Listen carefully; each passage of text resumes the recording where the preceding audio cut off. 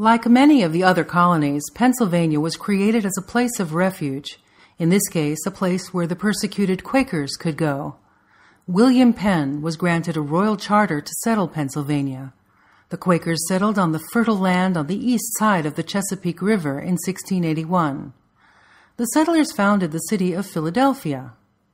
The Quakers were hard workers, and as a result, they were able to quickly turn Philadelphia into a success story.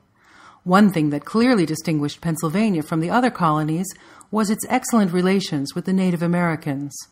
The colonists fully compensated the natives for any land they used. In 1774, the First Continental Congress meets in Philadelphia. On July 4, 1776, the members of the Second Continental Congress issue the Declaration of Independence.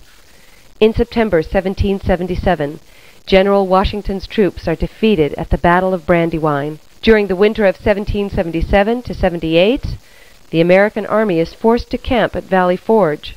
In 1787, the Constitutional Convention meets in Philadelphia. In 1859, the first commercial oil well was drilled in Titusville. On July 1st through the 3rd, the Battle of Gettysburg is fought.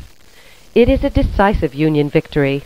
On November 19th, President Lincoln gives his Gettysburg Address at the dedication of the cemetery there.